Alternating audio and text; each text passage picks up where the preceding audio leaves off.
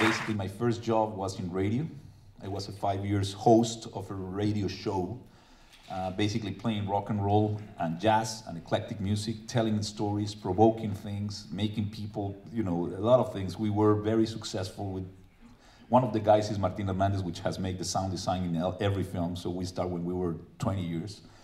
And uh, then I became the director of that radio station. So that was a very good school for me because I need to entertain people with music, with beats, with rhythm, with ideas, with conversation, blah, blah, blah. And then I studied theater two years with an incredible teacher, Ludwik Margules. That gave me a lot of, I think, experience in, in or uh, well, knowledge I think that I needed.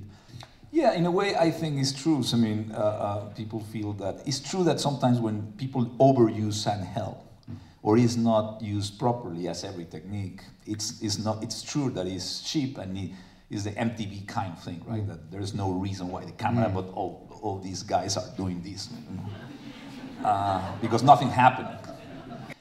We started working in 21 grams, and originally was uh, written for Mexico.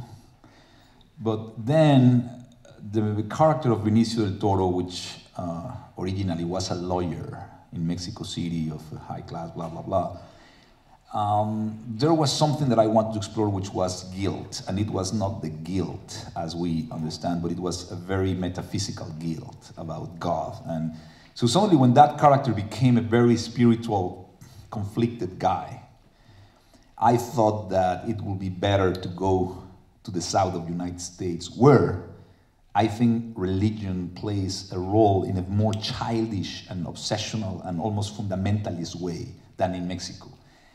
And so I thought there's a great opportunity here to play and to explore that character in the United States. And then it was an opportunity for me to go and work with Sean, which I have met before, and with Benicio that I like. And I said, well, maybe there's a combination here for me to explore new territory.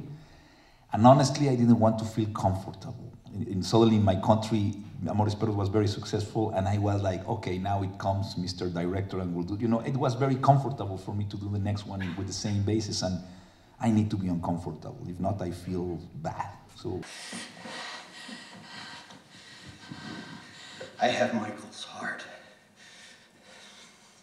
I have Michael's heart.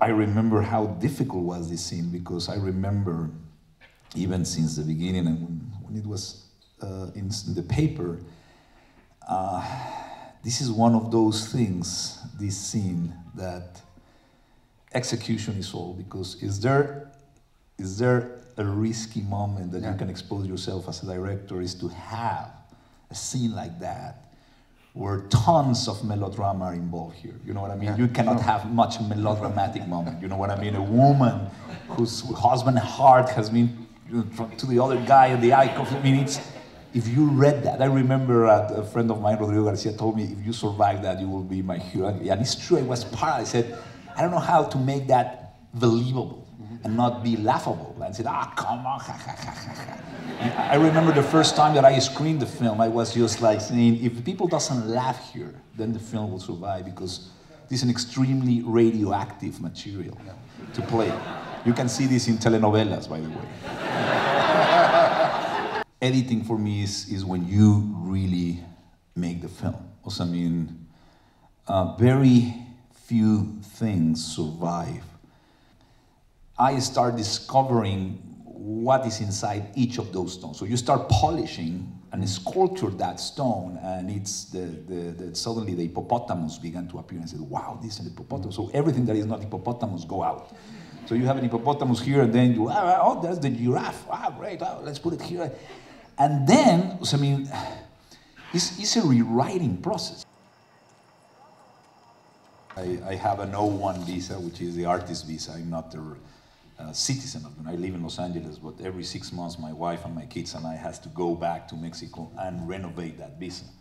And we have done that many times in Tijuana. So we cross the border, Tijuana, and then go back. So when we go from the United States and cross the border to, to Tijuana, nobody re review us. So it's an open border. Our country said, welcome to the gringos. We can have an atomic bomb or a kidnapped guy, whatever, but nobody will review us. Or guns, which is normally what goes in. But when we go back, it's like a two, three hour line of cars. And it's scrutinizing the way they, they, they review. And sometimes this character is inspiring. One time that we went there, and uh, the guy even doesn't allow me to see his eyes. So I was like, I was with our two kids. Our two kids were very, very young. It was a lot of hot. We were in the car, so they send us to a secondary revision. They see my face and they say, "This guy is a drug dealer," which you know I agree. so, but without explaining us. So the car was hot. We couldn't go out. So I went out. Said, "No, you have to wait in the car." It was sun hitting us, and, and then after 30 minutes, I went out. They went to the window. Said, "Well, can I explain you? I live in.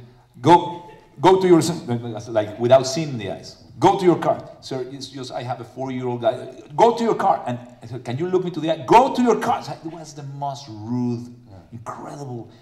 And unfortunately, sometimes are sometimes Latino, original Latinos that are even toughest with us. In the, in the Moroccan territory, I will never forget that I was with Cate and there was Cate Blanchett lying there in this incredible hot day in this jack, all, all, almost I, always I shoot in relocations.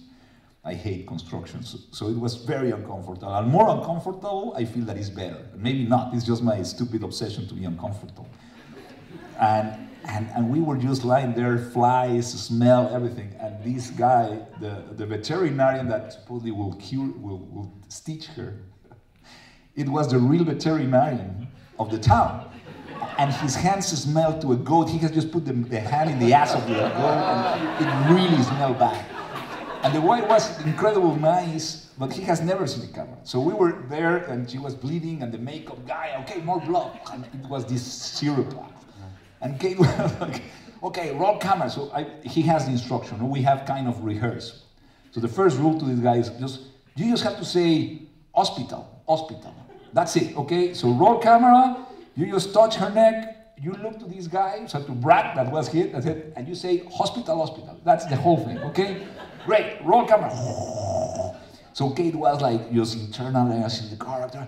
Ah, ah, ah, what are we gonna do? You know, she was really giving the whole thing, and the guy was.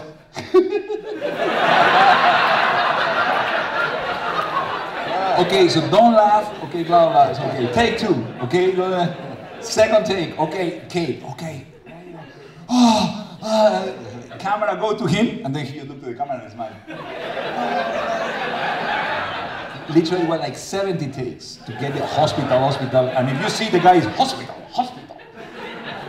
And it was incredibly uh, painful. that was the story of Babel. It was literally Babel in the set. I want to kill myself. Life is like that when we are no, but when sometimes you are confronting extremely painful situations, contradictory uh, life present you sometimes in circumstances completely uh, absurd compared to that situation. And life doesn't stop.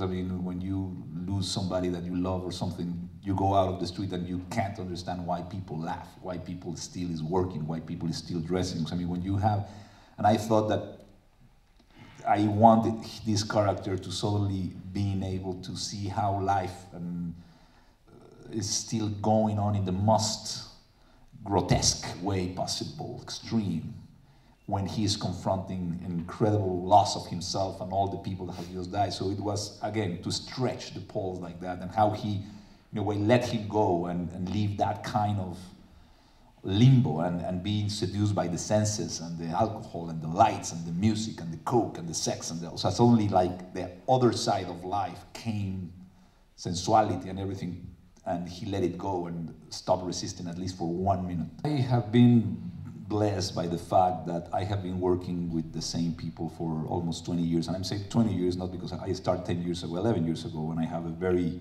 short, which I'm very humble to receive this uh, distinction tomorrow of career achievement when I have just four films. And I'm real humble because I see the directors in the 40s and the 50s and they made 120. like, come on, he's humble, only what I feel and even embarrassing. But in these four films, in 11 years before I started doing films, I work already with Brigitte Broch, which is the production designer, which is an amazing production designer and art director who really, she has oh, She just, you know, is in a sponge. She did Cronos, didn't she? She's the Cronos too. Wonderful. Yeah. yeah, she's German, living in Mexico for 35 years, and she's an amazing friend. And Rodrigo Prieto too, uh, which is the DP.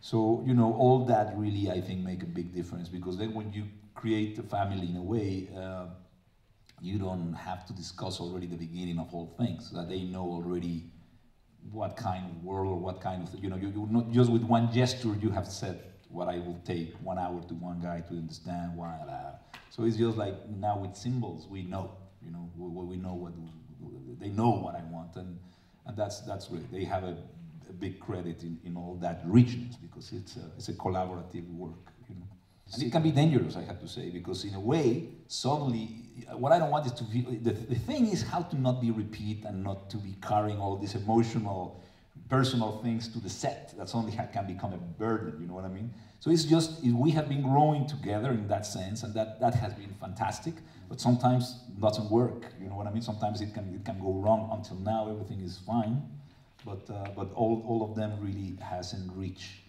uh, that incredible because uh, or Martin Hernandez, who started with me when I was 20, we did the first short film in, when I was 18 years old in the university, the college, and now he's doing the sound design of all the films.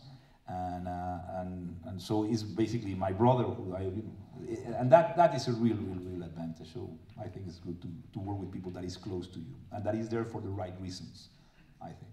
Well, Alejandro, you've been